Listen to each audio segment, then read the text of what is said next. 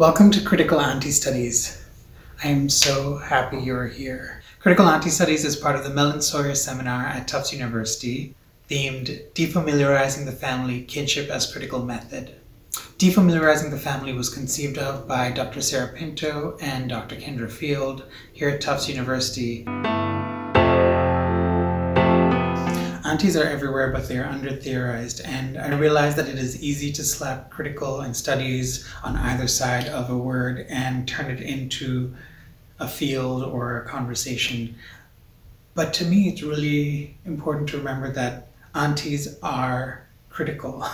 aunties criticize everything that we do, they point out the details and the mistakes and the possibilities. Their eyes are always sharp and watching and opening up small things into bigger possibilities.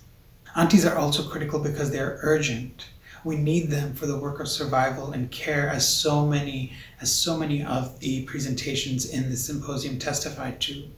Aunties complicate the shape of kinship. They force us to look diagonally and around the corner because they themselves are very rarely at the center of a narrative or at the core of an experience. They're always positioned right at the edge.